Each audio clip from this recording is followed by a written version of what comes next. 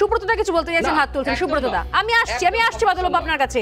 সুব্রত দত্ত আমি আসব আমি আসব। আমি প্রথম বলি সুব্রত দত্ত। করা যায়।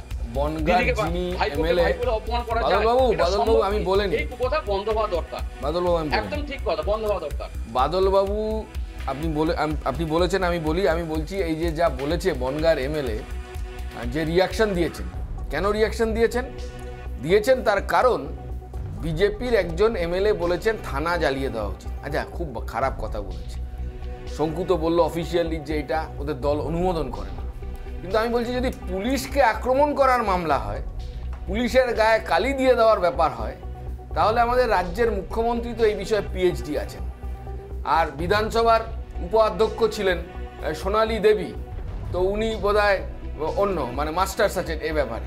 ফলে তাদের দলের বিধায়কদের এটা প্রথম মানায় না। এক দু নম্বর কথা হচ্ছে, ধরুন গত পরশুদিন গোটা বাংলা জ্বলছে এখন আবাস যোজনার দুর্নীতি নন্দকুমারে যেভাবে পুলিশ আক্রমণ করেছে আমাদের পার্টি অফিসে ঢুকে, পুলিশ এখন এই ধরনের কাজ সংগঠিত করছে।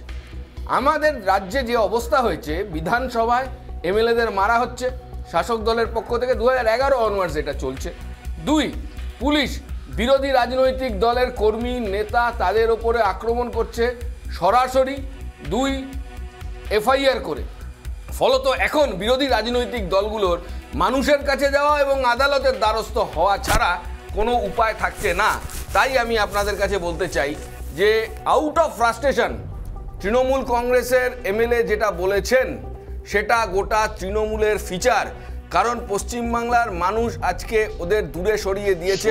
ফলে আউট অফ ফ্রাস্ট্রেশন এই ধরনের অনেক কথা ওদের বলতে হচ্ছে। ওদের বলতে হবে আসলে যে ভয়ের ভয়ের মুখ জনবিচ্ছিন্ন হওয়ার যে ভয়ের মুখ সেইটা থাকবার জন্য আজকে এই ধরনের কথা পুলিশ পুলিশ এবং থানা আমি আসব।